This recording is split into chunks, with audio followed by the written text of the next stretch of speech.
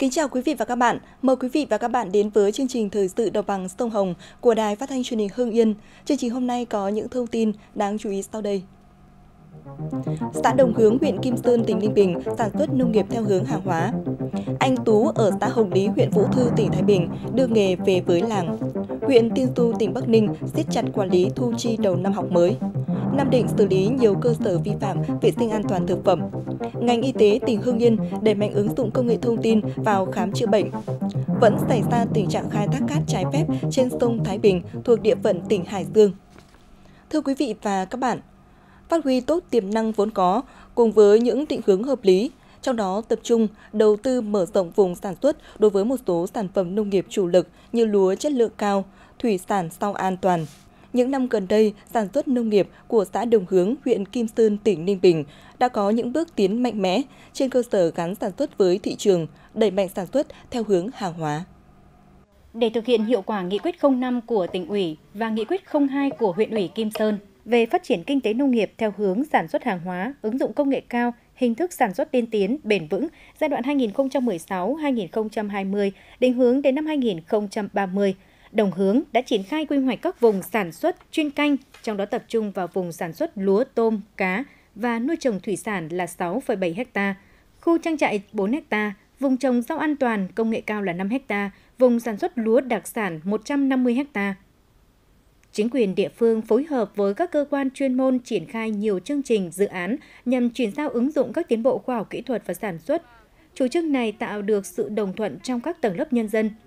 Đến nay, các vùng quy hoạch phát triển sản xuất đang được triển khai thực hiện và đều phát huy hiệu quả cao. Từ đó đã giúp người dân thay đổi phương thức, tập quán canh tác nhỏ lẻ, manh mún sang sản xuất hàng hóa tiếp cận với tiến bộ khoa học kỹ thuật, những giống cây trồng vật nuôi mới. Đến nay, giá trị canh tác trên 1 hecta đạt trên 110 triệu đồng.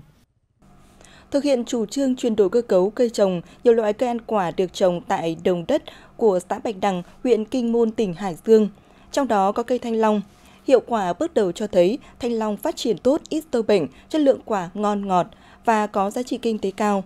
Từ thực tế đó, Tri hội Phụ nữ thôn Đại Uyên đã có sự liên kết thành lập tổ hợp tác chuyên sản xuất thanh long sạch và sau này phát triển thành hợp tác tiêu thụ thanh long sạch. Trên diện tích 1 hecta trồng thanh long đã bước sang mùa thu hoạch thứ năm, chị Liên cùng với các hội viên phụ nữ trong tổ sản xuất thanh long của thôn Đại Uyên đang tất bật với công việc chăm sóc cho diện tích này. Mặc dù cỏ mọc tốt và phủ kín ruộng, nhưng chưa một lần chị em phụ nữ phun thuốc trừ cỏ. Sau quá trình thử nghiệm cho thấy kinh phí đầu tư giống vốn phân bón không nhiều, việc chăm sóc đơn giản, cây thanh long lại cho năng suất thu nhập cao. Đó là lý do gia đình chị Liên quyết định chuyển đổi toàn bộ diện tích trên đồi và dưới vườn để trồng loại cây này. Bình quân mỗi hecta một năm gia đình chị Liên thu nhập khoảng 300 đến 500 triệu đồng. Chủ yếu phân hữu cơ nhiều, cái này nó không phải dùng thuốc sâu đâu. Thỉnh thoảng một năm có khi chỉ phun được một đợt. Trong quá trình ờ, chuẩn bị thu hoạch là cứ tự nhiên nó ra nào nó cứ thế thu thôi chứ không phải phun cái gì. Không có thuốc sâu gọi. Để có những quả thanh long sạch, chị em phụ nữ tuân thủ nghiêm túc quy trình sản xuất theo tiêu chuẩn Việt gáp, áp dụng các biện pháp khoa học kỹ thuật vào sản xuất, ưu tiên sử dụng phân hữu cơ, hạn chế sử dụng phân vô cơ và thuốc trừ sâu nhằm đảm bảo chất lượng và an toàn thực phẩm. Đến nay, trên địa bàn xã Bạch Đằng đã có 10 hecta đất đồi vườn được trồng thanh long. Một hợp tác xã sản xuất và tiêu thụ thanh long sạch cũng được Hội Phụ nữ xã thành lập, góp phần thúc đẩy mở rộng diện tích, tương trợ nhau trong hoạt động sản xuất và tiêu thụ sản phẩm. Nối tiếp nghề truyền thống sản xuất bún khô cha ông để lại, từ nhiều năm nay gia đình chị Trần Thanh Ngoãn ở thôn Nội Mai, xã An Viên, huyện Tiên Lữ, tỉnh Hưng Yên thu nhập cao từ nghề này. Theo chị Ngoãn cho biết, mặc dù việc tạo ra thành phẩm bún khô đã có sự tham gia của máy móc, nhưng hầu hết các công đoạn vẫn làm thủ công. Cứ hai ngày sản xuất một mẻ bún, trung bình một tháng gia đình chị sản xuất 4 tấn gạo, tương đương với 3,6 tấn bún khô thành phẩm. Bún khô nhà chị được xuất bán trong tỉnh và một số tỉnh lân cận như Quảng Ninh, Sơn La với giá xuất buôn 14.000 đồng một kg. Mỗi tháng trừ chi phí, gia đình chị cũng thu lãi 10 triệu đồng. Việc sản xuất bún khô luôn được gia đình chị chú trọng đến chất lượng và an toàn thực phẩm. Đã bao đời nay, người dân xã Hồng Lý, huyện Vũ Thư, tỉnh Thái Bình gắn bó với nghề nông nghiệp truyền thống. Thế nhưng, anh Nguyễn Duy Tú và những hộ dân khác đã tìm cho mình một hướng đi mới là sản xuất giày dép. Nghề này không chỉ mang lại nguồn thu nhập lớn cho các hộ gia đình mà còn tạo việc làm và thay đổi cách nghĩ về hướng thoát nghèo cho hàng trăm lao động thôn quê. Trước kia anh Nguyễn Duy Tú và một vài người bạn mở xưởng làm giày dép tại thành phố Hồ Chí Minh. Song với suy nghĩ mình phát triển và kiếm sống bằng nghề này ở nơi đất khách quê người được thì tại sao không về quê hương lập nghiệp, làm giàu trên chính mảnh đất mà mình đã sinh ra và lớn lên? Nghĩ là làm, năm 2016, anh Tú quyết định trở về quê hương Hồng Lý để mở xưởng sản xuất giày dép. Thị trường ngoài này thì nó có rộng mở hơn thì nói chung cũng mười mấy năm rồi thì muốn trở về quê hương thì muốn tạo điều kiện để thứ nhất là phát triển kinh tế cho mình, tạo cơ hội cho mình. Thứ hai là mình muốn mở rộng ra thì để cho bà con ờ, nó kiếm thêm cái thu nhập ổn định hơn cái so với lại làm nông nghiệp. Với gần 20 lao động, một ngày cơ sở của anh Tú sản xuất khoảng 500 đôi dép các loại, mỗi tháng cung cấp ra thị trường trung bình gần 11.000 đôi dép, bảo đảm thu nhập ổn định cho gia đình và tạo việc làm cho nhiều lao động địa phương. Bằng sự mạnh dạn sáng tạo, xuất phát từ tình yêu quê hương, anh Tú và những người con khác của quê hương Hồng Lý đã phát triển ngành nghề mới, tạo việc làm cho người lao động, phát triển kinh tế địa phương, góp phần xây dựng Hồng Lý trở thành xã nông thôn mới. Để hỗ trợ các làng nghề phát triển, huyện Hải Hậu, tỉnh Nam Định đã có dự án quy hoạch phát triển làng nghề tầm nhìn đến năm 2020 gắn với xây dựng nông thôn mới kiểu mẫu, trong đó tập trung vào bảo tồn và phát triển các làng nghề mang đậm nét văn hóa truyền thống. Các làng nghề có khả năng phát triển độc lập bền vững, đồng thời xây dựng thí điểm một mô hình làng nghề nông thôn tập trung nhằm đáp ứng nhu cầu đầu tư phát triển. Đến nay, huyện Hải Hậu, tỉnh Nam Định có 44 làng nghề tạo việc làm thường xuyên cho khoảng 10.000 lao động, trong đó có 14 làng nghề sản xuất công nghiệp, tiểu thủ công nghiệp, 20 làng nghề trồng hoa cây cảnh, 3 làng nghề nuôi thủy sản, 5 làng nghề trồng cây dược liệu, 2 làng nghề xây dựng. Số hộ và số lao động tham gia sản xuất ở các làng nghề tăng theo từng năm, có làng nghề thu hút tới 80% số hộ tham gia làm nghề. Để các làng nghề truyền thống hoạt động hiệu quả, thời gian tới huyện Hải Hậu tích cực triển khai thực hiện các cơ chế chính sách để duy trì làng nghề như duy trì khôi phục phát triển các làng nghề tiểu thủ công nghiệp, quy hoạch cụm công nghiệp làng nghề tiểu thủ công nghiệp để thu hút các doanh nghiệp vừa và nhỏ, các hộ sản xuất vào sản xuất tập trung. Bên cạnh đó hỗ trợ đào tạo thợ lành nghề, truyền nghề, chuyển đổi hoặc hàng sản xuất từ sản xuất những sản phẩm phục vụ tiêu dùng trong nước sang những sản phẩm xuất khẩu.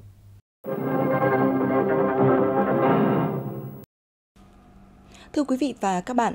câu chuyện lạm thu đầu năm học không còn mới, nhưng năm nào cũng gây ra những băn khoăn cho các bậc phụ huynh. Để tránh tình trạng trên, ngành giáo dục đào tạo tỉnh Bắc Ninh đã sớm triển khai văn bản hướng dẫn công tác quản lý thu và sử dụng các khoản thu năm học 2018-2019, quy định rõ ràng cụ thể và chi tiết các khoản được thu và cấm thu. Tại huyện Tiên Du, dưới sự chỉ đạo của Phòng Giáo dục và Đào tạo huyện, các trường trên địa bàn đang tập trung xây dựng kế hoạch thu chi cho năm học mới, đảm bảo thu đúng quy định, dân chủ và công khai. Trên quan điểm hạn chế thấp nhất những khoản đóng góp đối với phụ huynh học sinh, bắt đầu từ năm học này, trường mầm non thị trấn Lim 1 bỏ hoàn toàn việc thu quỹ lớp, quỹ trường. Ban đại diện cha mẹ học sinh của nhà trường cũng không tiến hành triển khai thu kinh phí hoạt động như mọi năm. Toàn bộ khoản thu của nhà trường đều tuân thủ nghiêm theo quy định của ngành giáo dục các cấp.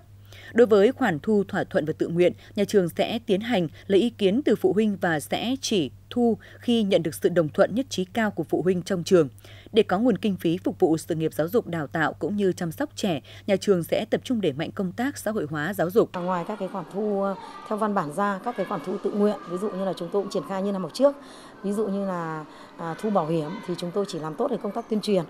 Đấy, còn phụ huynh nào tham gia hay không là tự nguyện phụ huynh. Nếu phụ huynh nào mà tham gia thì à, đăng ký với giáo viên và ký vào biên bản họp hội phụ huynh hay là những cái cái khoản tự nguyện khác cái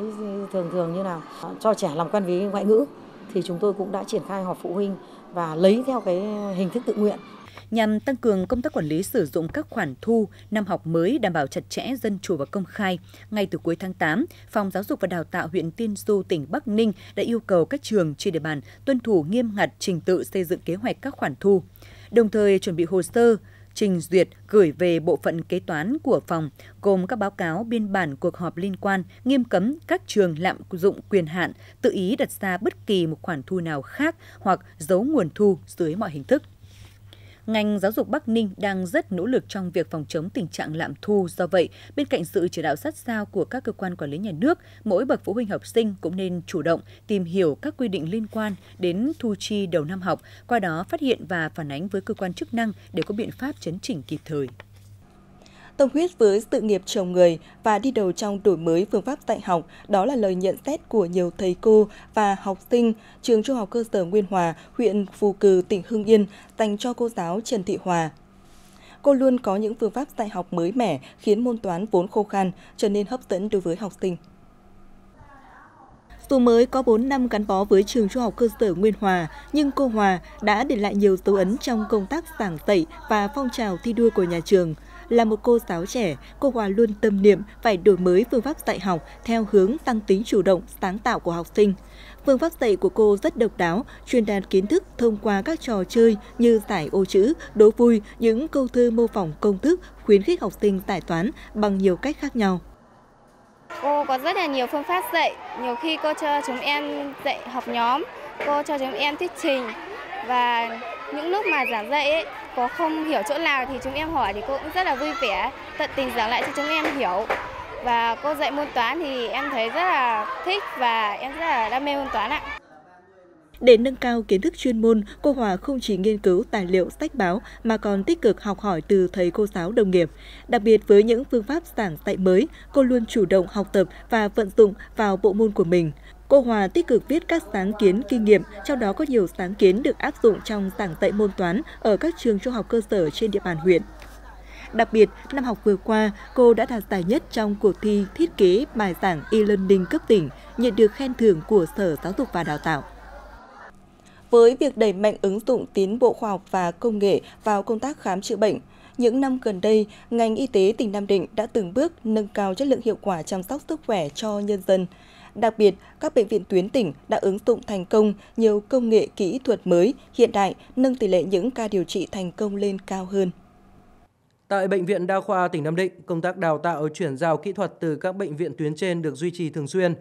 nên đã có nhiều kỹ thuật cao, kỹ thuật khó được thực hiện như kỹ thuật thay khớp háng, khớp gối, phẫu thuật u não, cột sống, tán sỏi laser. Đặc biệt, thời gian qua, phẫu thuật MASH được áp dụng đã đạt hiệu quả cao so với mổ thông thường, tạo thuận lợi cho người bệnh và nhân viên y tế. Trong thời gian tới, ngành y tế tỉnh Nam Định tiếp tục có chính sách phát triển nguồn nhân lực chất lượng, trong đó cùng với việc tuyển dụng bác sĩ, chú trọng đào tạo nâng cao trình độ đội ngũ cán bộ nhân viên y tế đáp ứng yêu cầu ngày càng cao trong công tác khám chữa bệnh, đồng thời phát động hơn nữa phong trào nghiên cứu khoa học trong toàn ngành, góp phần nâng cao chất lượng công tác khám chữa bệnh, phòng chống dịch bệnh trên địa bàn tỉnh nhằm góp phần nâng cao chất lượng phục vụ người dân đến khám chữa bệnh tại các cơ sở y tế. Thời gian qua, ngành y tế tỉnh Hưng Yên đã đẩy mạnh ứng dụng công nghệ thông tin vào hoạt động khám chữa bệnh, thanh toán bảo hiểm y tế trên 9 bệnh viện tuyến tỉnh, 7 trên 13 bệnh viện, trung tâm y tế, tương đương tuyến huyện và 4 phòng khám đa khoa. Hệ thống VNPT HES tương thích và có khả năng kết nối đa dạng máy xét nghiệm đang sử dụng tại tỉnh, giúp các cơ sở y tế dữ liệu hóa được hồ sơ bệnh nhân ngay từ khi tiếp đón, đến việc khám chữa bệnh, quản lý khoa phòng, giảm chi phí, nâng cao công tác quản lý, điều hành khám chữa bệnh, đặc biệt mang lại lợi ích lớn cho người bệnh, việc thanh toán bảo hiểm y tế được công khai, minh bạch và tiết kiệm được thời gian. Kết quả khảo sát của Bộ Y tế cho thấy cứ 10 người dân thì có tới 9 người mua thuốc kháng sinh mà không có đơn của bác sĩ. Mua và uống thuốc kháng sinh tùy tiện đang để lại hậu quả nghiêm trọng cho người bệnh và xã hội. Ghi nhận của phóng viên Đài Phát thanh Truyền hình Thái Bình. Nguyên nhân của tình trạng mua thuốc dễ như mua rau này là do một số chủ sở hữu nhà thuốc muốn tối đa hóa doanh thu. Trong khi đó, người dân lại có thói quen tự ý mua thuốc, không khám bệnh để tránh sự phiền hà, tốn kém. Chưa kể đến tình trạng vì không có đơn nên một số cơ sở bán thuốc còn tự tư vấn các loại chủ yếu có chiết khấu cao cho người dân để phục vụ lợi ích kinh tế của mình. Đi giờ đi khám ở bệnh viện thì thứ nhất là tôi không có thời gian. Nên là tôi cứ theo cái kinh nghiệm rồi cứ mua ở quầy thuốc, những quầy thuốc nó quen quen này mua cho nó tiện. Việc mua bán thuốc không theo đơn của bác sĩ đang gây ra nhiều hệ lụy như sức khỏe, tính mạng người bệnh bị đe dọa, việc điều trị kéo dài và tốn kém, hình thành những bệnh dịch nguy hiểm trong cộng đồng. Việc tự ý dùng thuốc ờ, sẽ gây nên những cái mà hậu quả sau này bệnh nhân sẽ phải chịu. Như chẳng hạn như chúng ta tự ý mua thuốc những thuốc kháng sinh thì sẽ dẫn đến hiện tượng là kháng tình trạng kháng kháng sinh. Sau này những lần sau mà bệnh nhân điều trị thì sẽ thông thường sẽ rất là khó để cho bệnh nhân đáp ứng với kháng sinh. Đây là cái thứ nhất. Cái thứ hai chẳng hạn như những cái thuốc mà có thể gây ra những cái suy gan suy thận. Ờ, cho bệnh nhân ảnh hưởng đến sức khỏe lâu dài thực tế đã chỉ ra rằng tăng cường kiểm soát kê đơn thuốc và bán thuốc theo đơn là giải pháp rất cấp bách bởi nếu chậm trễ thì người dân và ngành y tế sẽ chịu hậu quả nặng nề để giải quyết vấn đề này, Bộ Y tế triển khai hệ thống phần mềm kết nối mạng công nghệ thông tin đến tận các nhà thuốc. Cụ thể, cơ sở bán buôn thuốc, nguyên liệu làm thuốc, nhà thuốc, quầy thuốc phải được kết nối, thực hiện quản lý hoạt động phân phối thuốc bằng phần mềm. Thông qua đó, cơ quan quản lý sẽ nắm được toàn bộ đường đi của thuốc từ khâu sản xuất, nhập khẩu cho đến tay người tiêu dùng. Việc này không chỉ đảm bảo quản lý nguồn gốc, chất lượng các loại thuốc mà còn hỗ trợ cho quá trình điều trị hiệu quả hơn. Từ 4 tỉnh đầu tiên triển khai thí điểm, Đến nay đã có 25 tỉnh, thành phố trực thuộc Trung ương tham gia vào hệ thống liên thông kết nối các cơ sở cung ứng thuốc. Dự kiến đến cuối năm 2018, việc nối mạng hệ thống nhà thuốc sẽ được triển khai đồng loạt ở tất cả các tỉnh, thành phố trên cả nước, trong đó có Thái Bình. Vào cuối tháng 8 đầu tháng 9, thời tiết có những thay đổi thất thường tạo môi trường thuận lợi cho các loại virus gây bệnh ảnh hưởng đến sức khỏe, nhất là người cao tuổi và trẻ em. Theo thống kê của Bệnh viện Nhi Hải Dương, trong thời điểm từ cuối tháng 8 đến đầu tháng 9 này đã có hơn 1.200 bệnh nhân tới khám. Trong số này, gần 500 bệnh nhi phải nhập viện và có gần hai chục trường hợp phải chuyển lên tuyến trên. Cũng trong khoảng thời gian này, Bệnh viện Nhi đã và đang điều trị cho hơn 2.000 bệnh nhân. Các khoa có đông bệnh nhân điều trị là hồi sức cấp cứu, hô hấp, tiêu hóa, nội tổng hợp, truyền nhiễm và ngoại. Tại thời điểm thời tiết giao mùa như hiện nay, các bác sĩ khuyến cáo các gia đình cần giữ gìn vệ sinh cá nhân sạch sẽ cho trẻ em, cho trẻ em ăn uống đầy đủ chất, hạn chế tiếp xúc với người bị cảm cúm, sốt virus. Khi thấy trẻ có các biểu hiện như ho, sốt, chảy nước mũi, hắt hơi, cần phải đưa ngay đến khám ở các cơ sở y tế. Tết Trung Thu đang cận kề, nhằm bình ổn thị trường, hạn chế tình trạng gian lận thương mại, buôn bán hàng giả, hàng nhái, hàng không rõ nguồn gốc xuất xứ, không đảm bảo an toàn vệ sinh thực phẩm. Chi cục quản lý thị trường tỉnh Bắc Ninh cũng đã tăng cường các biện pháp kiểm tra phát hiện và xử lý các vi phạm. Nhiệm vụ trọng tâm được Chi cục Quản lý thị trường tỉnh chỉ đạo các đội quản lý thị trường các huyện thị xã thành phố là tập trung kiểm tra nguồn gốc xuất xứ của hàng hóa, việc thực hiện các quy định về tiêu chuẩn chất lượng hàng hóa, công bố hợp quy, nhãn hàng hóa, điều kiện bảo đảm an toàn thực phẩm, đăng ký kinh doanh, niêm yết giá và bán theo giá niêm yết, các quy định của pháp luật trong sản xuất kinh doanh thực phẩm phối hợp với các lực lượng chức năng kiểm tra các tổ chức cá nhân sản xuất kinh doanh bán bánh trung thu trong việc sử dụng và nguồn gốc của nguyên liệu, phụ gia thực phẩm, chất hỗ trợ chế biến bánh. Đối với mặt hàng đồ chơi trẻ em, kiểm tra nguồn gốc xuất xứ, ghi nhãn hàng hóa, chứng nhận hợp quy và các quy định khác của pháp luật. Trong 8 tháng đầu năm 2018, hơn 1.320 cơ sở trên địa bàn tỉnh Nam Định đã bị các đoàn kiểm tra liên ngành, chuyên ngành lập biên bản xử lý vi phạm về an toàn thực phẩm. Trong đó có 1.060 cơ sở chỉ dừng ở mức nhắc nhở, xử lý vi phạm hành chính nên chưa đủ sức gian đe. Để các cơ sở nghiêm túc chấp hành các quy định của pháp luật về an toàn vệ sinh thực phẩm, thời gian tới, công tác thanh tra kiểm tra trên địa bàn tỉnh cần phải được thực hiện một cách thiết thực cụ thể, không chỉ dừng lại ở việc kiểm tra giấy phép sản xuất kinh doanh, vi phạm về điều kiện vệ sinh, trang thiết bị dụng cụ, mà các đơn vị phải cụ thể các nội dung kiểm tra như dư lượng thuốc thú y có trong thực phẩm, chất cấm sử dụng trong chế biến thực phẩm, số đơn vị cơ sở vi phạm vệ sinh an toàn thực phẩm hoặc kiểm tra những cơ sở sản xuất thực phẩm có nguy cơ gây ngộ độc để ngăn ngừa tình trạng ngộ độc thực phẩm. Đặc biệt, cần kiểm tra những nơi tập trung các loại thực phẩm tươi sống, thu hút nhiều số lượng người tiêu dùng và tiềm ẩn nguy cơ mất an toàn thực phẩm cao. Các ngành chức năng các huyện thành phố cần tiếp tục hỗ trợ tuyến cơ sở về chuyên môn nghiệp vụ, tăng cường kiểm tra đột xuất, nhất là các cơ sở sản xuất kinh doanh rau thịt, dịch vụ thức ăn đường phố. Khi phát hiện vi phạm, phải xử phạt nghiêm minh, tránh nể nang. Bên cạnh đó, tăng cường tuyên truyền vận động, hướng dẫn các cơ sở sản xuất chế biến, kinh doanh chấp hành quy định của pháp luật về vệ sinh an toàn thực phẩm. Mặc dù đang trong mùa mưa bão, nhưng hiện nay nhiều tàu vẫn ngang nhiên khai thác cát trái phép trên sông Thái Bình thuộc địa bàn thành phố Hải Dương, tỉnh Hải Dương, gây thất thoát tài nguyên khoáng sản và nguy cơ sạt lở bờ sông. Từ những thông tin phản ánh của người dân và thực tế cho thấy, mỗi ngày có hàng chục tàu hút cát lớn nhỏ neo đậu trên đoạn sông Thái Bình, khu vực phường Ngọc Châu, thành phố Hải Dương. Lợi dụng khi đêm xuống, nhiều tàu thực hiện việc khai thác cát trái phép ngay giữa lòng sông, cách vị trí neo đậu vài trăm mét. Để tránh bị phát hiện, các tàu này thường hút ở giữa sông và tắt hết đèn trên tàu. Trong gần 2 tháng qua, có 6 tàu với sức chứa 300 mét khối thường xuyên khai thác cát trái phép tại khu vực này mà không thấy cơ quan chức năng nào phát hiện xử lý. Mỗi đêm các tàu này thường hút từ 2 đến 3 chuyến với tổng khối lượng lên tới hàng nghìn mét khối, gây thiệt hại hàng trăm triệu đồng tài nguyên khoáng sản. Qua tìm hiểu và nắm bắt thông tin từ người dân được biết, toàn bộ khối lượng cát khai thác trái phép này sau đó được bơm vào khu vực của dự án Eco River cách vị trí khai thác khoảng hơn 1 km. Rất mong các cơ quan chức năng kiểm tra xem xét làm rõ những thông tin mà người dân phản ánh. Quý vị và các bạn vừa theo dõi chương trình Thời sự Đồng bằng Sông Hồng của Đài Phát thanh Truyền hình Hưng Yên. Cảm ơn quý vị và các bạn đã dành thời gian theo dõi. Xin thân ái chào tạm biệt và hẹn gặp lại trong những chương trình sau.